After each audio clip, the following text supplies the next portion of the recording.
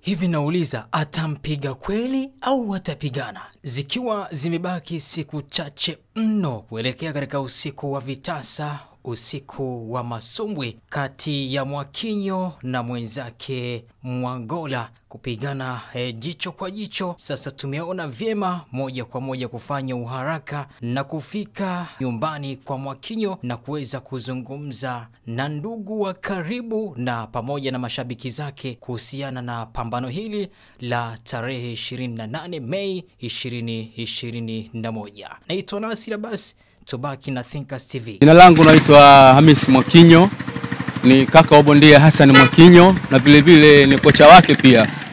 Kwa kumshauri, sina cha kumshauri isipokuwa yeye kazi anajua nini afanye, isipokuwa nachoomba wapenzi tu wangumi wajitokeze kwa wingi katika siku ya Ijumaa tarehe 28 ili kuweza kumsapoti bondia wetu, na ambao hakujaliwa kufika katika ukumbi wanao uwezo wa kulipia vingamuzi vyao vya DSTV ili waweze kuona mechi hiyo kwa umakini zaidi. Uh, rekodi yake sijaifuatilia, lakini kwa kumwangalia sio bondia mbaya, na rekodi ya nyuma inaonyesha kwamba pindi tunapocheza na mabondia wa Afrika mechi zinakuwa ngumu. Ukiangalia mechi ya Botswana tulicheza kwa raundi kumi tukapata ushindi, na vile vile mechi ya Shibangu Kayembe tumaliza raundi kumi.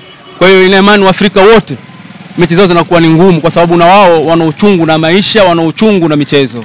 Ah, maandalizi ni mazuri sana, pamoja na kwamba yalikuwa ni magumu kutokana na mwezi wa Ramadhani, lakini nashukuru tumeyafanya vizuri na nina imani watu wataondoka wakiwa na furaha kama ilivyo siku zote siku hiyo. Nikiwa kama mwalimu wa boxing katika mkoa wa Tanga, ombi langu kwa serikali ama wadhamini ama wadau wa ngumi, na waomba jitokeze kwa wingi kudhamini mchezo huu wa ngumi katika mkoa wa Tanga, kwa sababu ni mkoa ambao una vipaji vingi vya watoto katika mchezo wa boxing, na pia ni mkoa ambao unaongoza kupeperusha bendera ya nchi yetu kwa mara nyingi zaidi kuliko mikoa mingine hapa Tanzania. Vijana nawaambia wasikate tamaa, kwani mchezo wa ngumi sio uuni. Mchezo wa ngumi ni kazi kama kazi nyingine, unachotakiwa uithamini, uifuatilie, utaweza kufika mbali zaidi. Ah, tarajia ni burudani nzuri, kwamba amejiandaa kurupuka.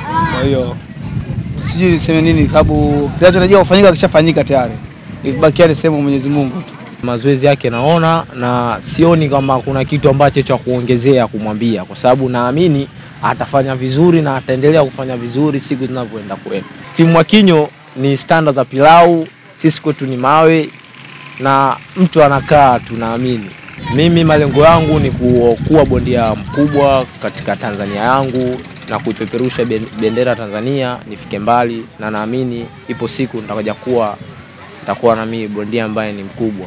por.